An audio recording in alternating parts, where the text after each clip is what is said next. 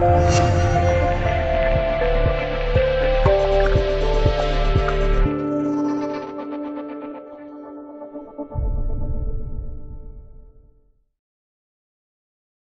要：口径巡航导弹性能如何？俄罗斯为何要把它长期战斗部署到地中海？中国之声晚高峰关军情五月十九日电，记者周宇听，俄罗斯总统普京近日表示，俄罗斯军队将在地中海长期战斗部署口径巡航导弹。普京解释说，之所以采取这一措施，是因为叙利亚受到国际恐怖分子袭击的威胁仍然存在。那么，口径巡航导弹性能如何？俄罗斯为何要把它长期战斗部署到地中海？相关问题，CN 八国防时空军事观察员尹卓为您做深入解析。说到俄罗斯口径巡航导弹，它在国际上声名大振，是因为在叙利亚战场上的不俗表现。口径巡航导弹的射程大约是两千五百公里，它的外形类似于美国战斧巡航导弹。又被外界称为俄罗斯版战斧。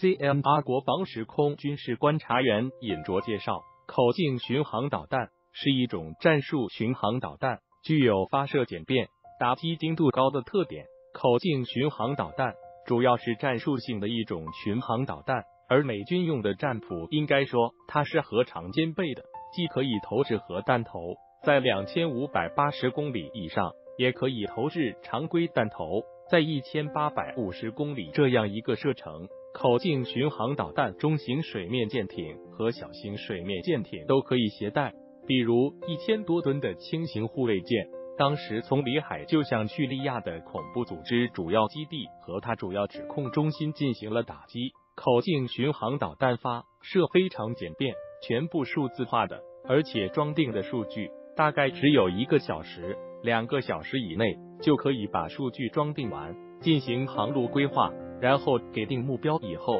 对目标就实施打击，这样打击的精度也比较高。口径巡航导弹几次打击的效果都比较好，当然这跟俄罗斯的情报准确是有关系的，但是也绝对少不了口径巡航导弹打击的威力，特别是它的精度。CMR 国防时空军事观察员尹卓表示。口径巡航导弹可以在多平台上发射，俄罗斯希望让它成为今后海军装备的一种标配。巡航导弹过去是俄罗斯的一个长项，在冷战时期就大密度的装备了各种各样的飞行式导弹。这种飞行式导弹实际稍微修改一下就变成巡航导弹。这方面，俄罗斯比美国在动力上、制导上，它的技术是比较雄厚的。现在它发展的口径巡航导弹是一种多平台的，跟过去俄罗斯的飞航导弹一样，都是一种多平台的，主要是水面舰艇发射，但同时也可以机载，也可以潜艇发射。潜艇发射就是由战术核潜艇，甚至由常规潜艇，只要装上发射管，或者是斜置发射，或者是水平的，由于雷发射管发射，都是可以进行发射的。所以它是一种多用途的导弹。俄罗斯装备口径巡航导弹，实际把它作为海军装备今后的一种标配。所谓标配，就是刚才我们讲多平台都可以放口径巡航导弹，这样它的保障维修，包括目标指示和它的情报保障，都是可以一体化进行的。CMR 国防时空军事观察员尹卓分析认为，俄罗斯将口径巡航导弹。长期部署地中海，既是对以美国为首的北约的威慑，也能打击周边地区的恐怖主义组织，同时还希望为这型导弹开拓军贸市场。俄罗斯是一直保持一支不大不小的地中海常备力量，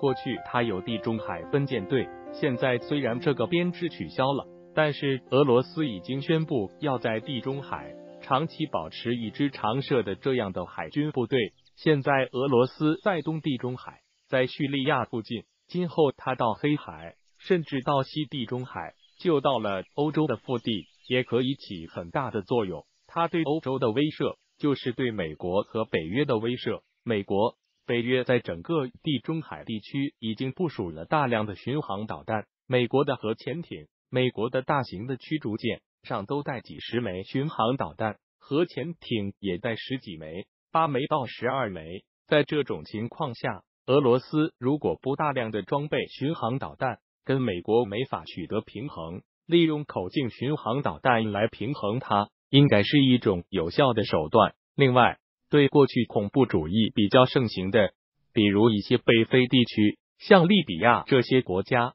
都是口径巡航导弹今后可以发挥重大作用的地方。同时，俄罗斯恐怕还有一个考虑，大力宣布口径巡航导弹的作战能力。另外，在战斗中多次使用，可能也是想为它开拓一个军品销售的市场。因为现在使用俄罗斯的潜艇和水面舰艇、飞机的国家比较多，如果能配上口径巡航导弹，这个销售前景应该是不错的。栏目主编张武文字编辑，李林为提图来源，新华社图片编辑达西。